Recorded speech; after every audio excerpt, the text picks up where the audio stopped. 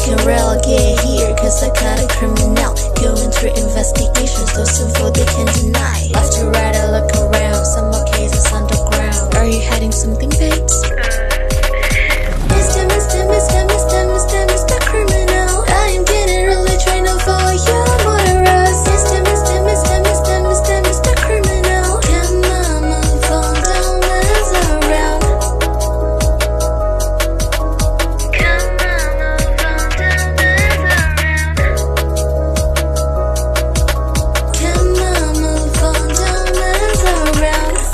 your co